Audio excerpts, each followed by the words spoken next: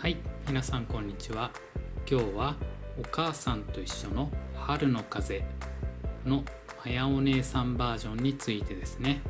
作詞作曲は坂田治お兄さんになっていますね。まやお姉さんとても歌が上手ですよね。こういった歌とても似合うような気がしますね。なんかこのミュージッククリップを見ているとプロモーションビデオのようにも見えますよね。まやお姉さんをたくさん楽しめるミュージッククリップ。なかなか他にはないのではないでしょうか。はい。